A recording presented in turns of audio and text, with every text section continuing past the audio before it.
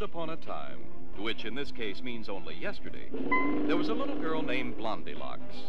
She worked in the big city, but lived in the heart of an enchanted forest, with her poor and humble father, a widower woodchopper, of course. And as Blondilocks is tooling homeward to prepare a humble meal, she's unaware that the fickle finger of fate is upsetting an apple cart in her path. And this sets the stage for Blondilocks to enter our story. Oh no. Apples plus curve can only mean disaster!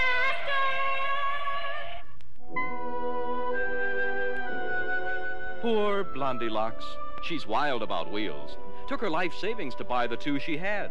And now her equity is wiped out.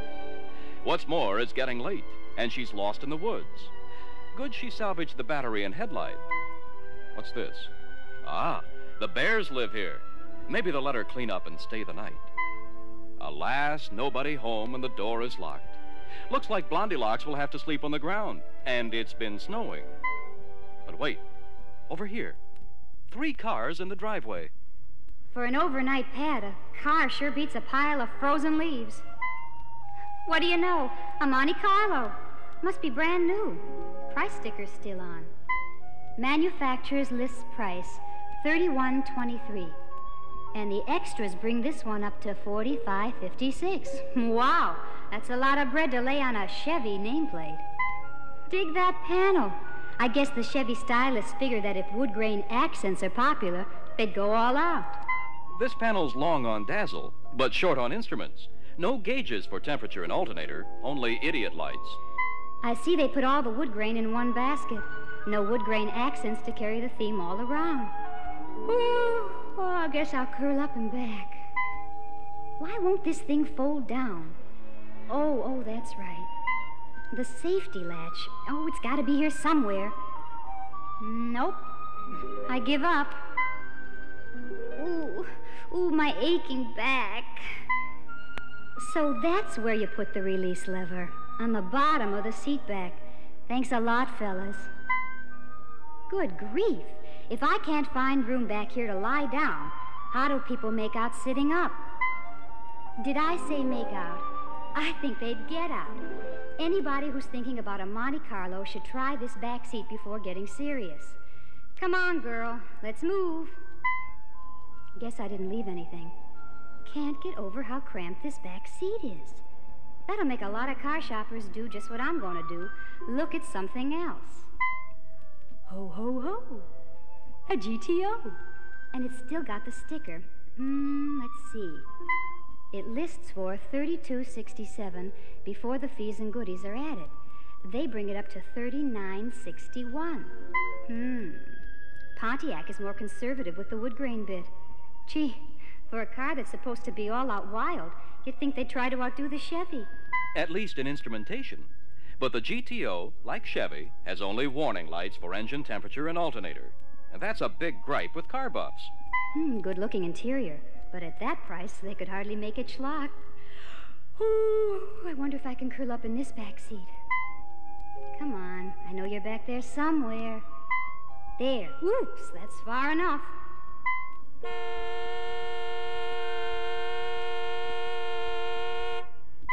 What next? Not much sleep, judging from the way this seat sits. Oh, but still, it's, it's worth a try. Another bummer. I'll bet the Bear family didn't check these back seats before they bought. So now they just grin and bear it. No encore, please. Ooh, new Dodge Charger. Oh, be good to a damsel in distress, dear Charger. You're my last hope. Ooh, ooh, bad news. List price for this V8 model's only 3108. Delivered price as equipped, still only 3643. A lot less than either of the others, so it probably has less room inside. What? No wood grain? Hmm, could it be a case of Dodge putting first things first in a car buff's car? Like I see you have a full line of instruments where the others just have little windows for lights. Yet this is certainly no austerity car. In fact, what is there about this door panel that makes it look better than the others? Hmm. Maybe the handle. Sure looks new and different, and it pulls in to open the door. An accidental bump couldn't work it. And me, I'm accident prone. In that GTO or the Monte Carlo with those little old rocker grips, I could be a GM dropout. Now, here's a lever I can latch onto, up high and out in plain sight. Did I say less money buys less room?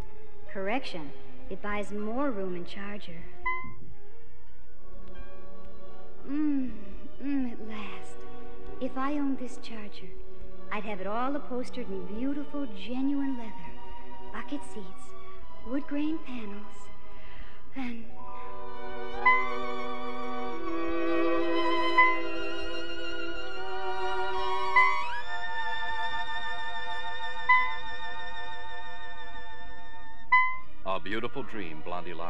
And a real dream car, the Charger 500 Special Edition. Master stylists have combined rich, genuine leathers, high-style bucket seats, the glow of wood grain panels, and flashing chrome accents into a picture of sheer beauty. GTO's best interior can't match it. Monte Carlo's best interior doesn't come close either. So dream on in peace, little Blondie Locks. We'll see you in the morning. After you get into that house through the open back door, clean up and borrow something to wear from Mama Bear. Oh, what a beautiful morning.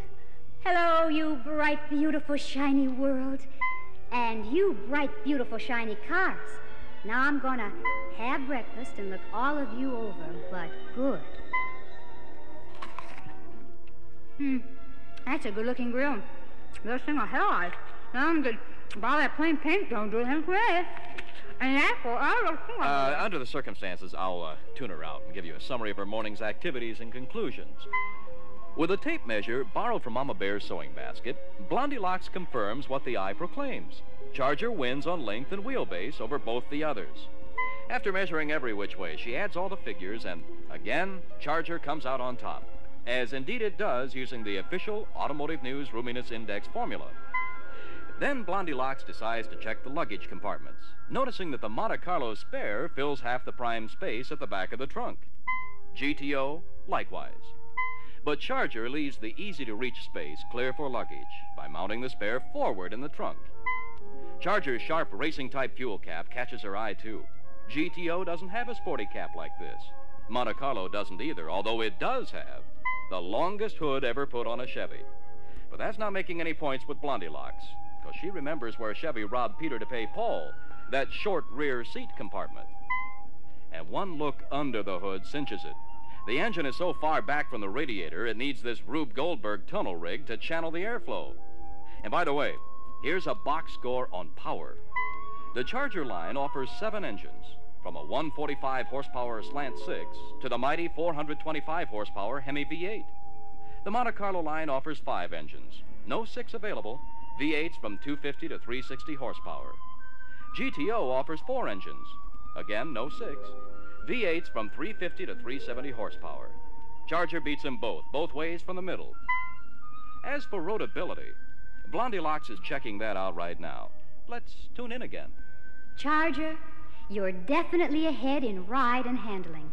I thought the other two were good till you spoiled me. My female curiosity demands to know how you do it.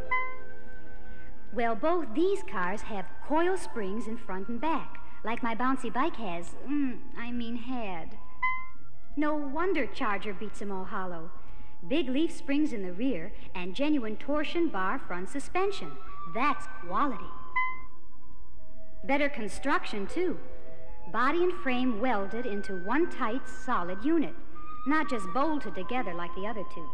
Somebody's been filling the ashtray in my Monte Carlo with apple seeds. Uh oh. Somebody's been driving my charger. The hood still. Aha! I've got the culprit. Hey, what a cool culprit. Oh, there, there, little lady. You've done us no harm. Excellent taste, my dear. And so, relaxed by the bear's friendly manner, Blondie Locks tells the full story, winding up with such powerful proof of Charger value that even Mama and Papa Bear applaud. Blondie Locks. Why? Well, I feel about you the way you feel about my charger. A penny for your thoughts. Oh, no. That'd blow my cool. Because the way I dig your charger, I dig you too. Baby. I'm sure you can guess the end of this story. Like everyone who stays with Dodge, they drive happily ever after.